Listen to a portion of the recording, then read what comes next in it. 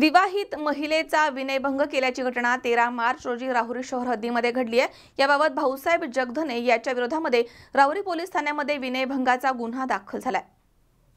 बाथरूमसाठी जात असलेल्या विवाहित महिलेचा हात धरून तिला स्पर्श करून गैरवर्तन केल्याची घटना तेरा मार्च रोजी पहाटे राहुरी शहर हद्दीमध्ये घडली आहे. याबाबत भाऊसाहेब जगधने याच्या विरोधामध्ये राहुरी पोलीस ठाण्यात विनयभंगाचा गुन्हा दाखल करण्यात आलाय. राहुरी शहर हद्दीमध्ये एक पंचवीस वर्षीय विवाहित तरुणी आपल्या कुटुंबाच्या सोबत राहते. आरोपी भाऊसाहेब जगधने हा तिच्या घराशेजारी राहतो.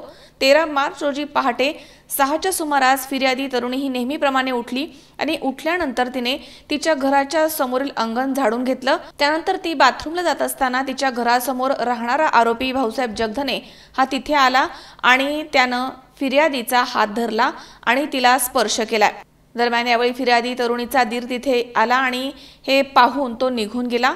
दरम्यान घटनेनंतर विवाहित तरुणीनं आपल्या नातेवाईकांना घेऊन रावरी पोलिसांना गाठलंय आणि घडलेली घटना पोलिसांच्या समक्ष कथन केली आहे. सदर तरुणीच्या फिर्यादीवरनं भाऊसाहेब जगधने याच्या विरोधामध्ये विनयभंगाचा गुन्हा दाखल करण्यात आला आहे तसेच आरोपीला तात्काळ अटक करून गजाआड करण्यात आलं. या घटनेचा पुढील तपास पोलीस निरीक्षक हनुमंत गाडे यांच्या मार्गदर्शनाखाली पोलीस नाईक प्रवीण खंडागळे हे करतायत. मनोज साळवे सह सतीश फुलसौंदर सी चोवीस तास राहुरी. सबस्क्राईब करा सी चोवीस तास यूट्यूब चॅनलवर आणि बेल आयकनवरती क्लिक करा सर्वात पहिले आपल्या परिसरातील बातम्या पाहण्यासाठी.